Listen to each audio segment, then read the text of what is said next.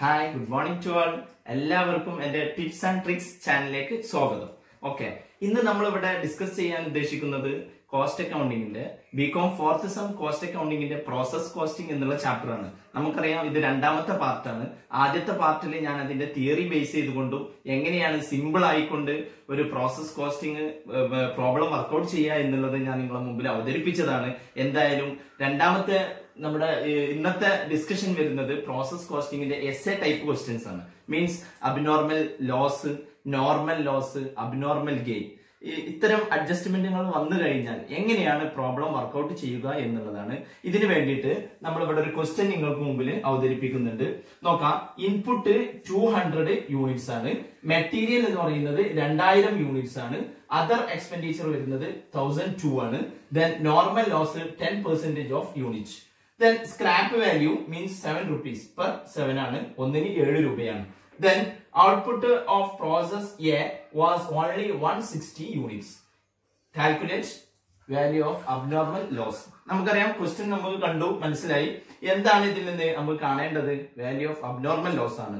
Value of abnormal loss ചെയ്യുന്ന സമയത്ത് നമ്മൾ ആദ്യമായിട്ട് പരിചയപ്പെടുത്തുന്നത് വാല്യൂ ഓഫ് അബ്നോർമൽ ലോസിന്റെ ഇക്വേഷൻ ആണ്. ഇക്വേഷൻ ബേസ് ചെയ്തിട്ടാണ് പ്രോബ്ലം നമുക്ക് വർക്ക്ഔട്ട് ചെയ്യാനുള്ളത് അതിന് വേണ്ടിയിട്ട് നമ്മൾ ഇവിടെ കാണിച്ചിട്ടുണ്ട് normal cost of normal output divided by normal output into hundred into units of abnormal loss okay ഈ normal cost of normal output എങ്ങനെയാണ് ഉണ്ടാക്കുക എങ്ങനെയാണ് കിട്ടുക എന്നുള്ളത് താഴെ കൊടുത്തിട്ടുണ്ട്. Total expenditure minus scrap value സ്ക്രാപ്പിന്റെ amount ആണ്. ദെൻ നോർമൽ ഔട്ട്പുട്ട് എന്ന് പറയുന്നത് total unit minus unit of normal loss ആണ്. ഓക്കെ എന്തായാലും നമുക്ക് പ്രോബ്ലത്തിലേക്ക് വരാം. ആദ്യമായിട്ട് നമ്മൾ പ്രോസസ് അക്കൗണ്ട് തയ്യാറാക്കുന്ന ഒരു ഡെബിറ്റ് സൈഡ് ഉണ്ടാവും ഒരു ക്രെഡിറ്റ് സൈഡ് ഉണ്ടാവും. ദെൻ യൂണിറ്റ് കോളം ഒരു എമൗണ്ട് കോളം ആദ്യമായിട്ട് നമുക്കറിയാം എല്ലാ എക്സ്പെൻസസുകളും നമ്മൾ ഡെബിറ്റ് സൈഡിലാണ് എഴുതാറ്. എല്ലാ ഇതുമായി ബന്ധപ്പെട്ടിട്ടുള്ള ബാക്കിയുള്ള കേസുകൾ ക്രെഡിറ്റ് സൈഡിലാണ് കാണിക്കുന്നത്. ഓക്കെ ദെൻ ആദ്യമായിട്ട് നമുക്ക് ഇൻപുട്ട് ആണ് എടുക്കേണ്ടത്. ഇൻപുട്ട് യൂണിറ്റ് കോളത്തിൽ ടു ഹൺഡ്രഡ് കാണിച്ചു. ദെൻ മെറ്റീരിയലിന്റെ എമൗണ്ട് ആണ് ടു തൗസൻഡ് അത് നമ്മൾ കാണിച്ചു. ദെൻ മറ്റൊന്ന് വരുന്ന എക്സ്പെൻസസ് അതർ എക്സ്പെൻഡിച്ചർ ആണ്. അതർ എക്സ്പെൻഡിച്ചർ എന്ന് പറഞ്ഞിട്ട് തൗസൻഡ് ടു നമ്മൾ കാണിച്ചു. ഓക്കെ ഇനി ഈ ക്വസ്റ്റ്യൻ പ്രകാരം നമുക്ക് ഈ സൈഡിൽ ഒന്നും എഴുതാൻ ഇനി സപ്പോസ് ലേബറോ അതുമായി ബന്ധപ്പെട്ട് ഇൻഡയറക്ട് എക്സ്പെൻസസുകൾ വന്നിട്ടുണ്ടെങ്കിൽ നമുക്ക് ഇവിടെ കാണിക്കാവുന്നതാണ് ഓക്കെ എന്തായാലും നെക്സ്റ്റ് നമുക്ക് രണ്ടാമത്തെ ക്രെഡിറ്റ് കോളത്തിലേക്ക് പോവാം. ആദ്യമായിട്ട് നമ്മൾ കാണിക്കുന്നത് നോർമൽ ലോസ് ആണ്.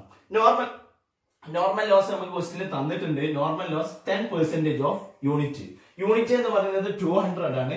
ടു ഹൺഡ്രഡിന്റെ ടെൻ പെർസെന്റേജ് എന്ന് പറയുന്നത് വൺ ഫോർട്ടി ആണ്. സോറി ട്വന്റി ആണ്.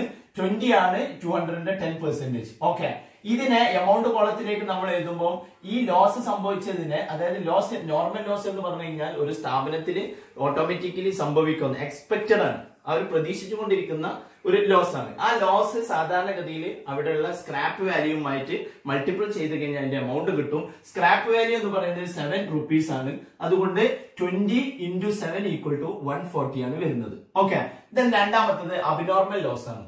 അബ്നോർമൽ ലോസ് നമുക്ക് എങ്ങനെയാണ് കണ്ടെത്തുക എന്നുള്ളത് നമുക്കറിയാം.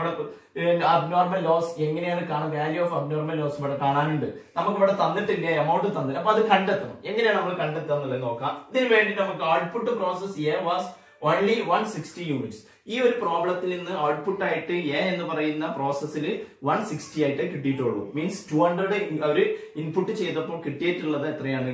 ഇൻട്രൊഡ്യൂസ് ചെയ്തപ്പോൾ കിട്ടിയിട്ടുള്ളത് വൺ സിക്സ്റ്റി അപ്പൊ നമ്മൾ ആദ്യമായിട്ട് ടു ട്രാൻസ്ഫർ എന്ന് പറഞ്ഞുകൊണ്ട് വൺ സിക്സ്റ്റി കാണിക്കുന്നു. ഓക്കെ ഇതൻ ഇനി നമ്മൾ ജസ്റ്റ് ഒന്ന് ബാലൻസ് ചെയ്തിട്ട് എത്രയാണോ ബാലൻസ് വരുന്നത് അതാണ് അവിടുത്തെ നോർമൽ ലോസ് ട്വന്റി ഈ ടു ഹൺഡ്രഡിനെ യൂണിറ്റിനെ ഇങ്ങോട്ട് എടുത്ത് എഴുതി അതിനുശേഷം ട്വന്റി വൺ സിക്സ്റ്റി തമ്മിൽ ടു ഹൺഡ്രഡിന് ലെസ് ചെയ്ത് കഴിഞ്ഞാൽ നമുക്ക് കിട്ടുന്നതാണ് അബ്നോർമൽ ലോസ് എന്ന് പറയുന്നത്. ട്വന്റി ഓക്കെ അപ്പൊ നമുക്ക് അബ്നോർമൽ ലോസ് കിട്ടി. ഇനി എങ്ങനെയാണ് അബ്നോർമൽ ലോസിന്റെ വാല്യൂ കിട്ടുക എന്നുള്ളതാണ് നമുക്ക് ഇക്വേഷന്റെ ഹെൽപ്പോട് കൂടി ചെയ്യാനുള്ളത്. നമുക്ക് നോക്കാം. ഇവിടെ ഇക്വേഷൻ തന്നിട്ടുണ്ട്. അതിന് ഞാൻ താഴെ ആദ്യമായിട്ട് നമുക്ക് കിട്ടേണ്ടത് normal cost of normal output ആണ്.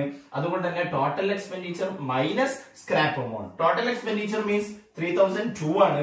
Three thousand two minus scrap amount scrap amount നമുക്ക് മുകളിൽ കിട്ടിയിട്ടുണ്ട് one forty one forty minus ചെയ്ത് കഴിഞ്ഞാൽ two eight six two two thousand eight sixty two നമുക്ക് ഇവിടെ ലഭിക്കുന്നതാണ്.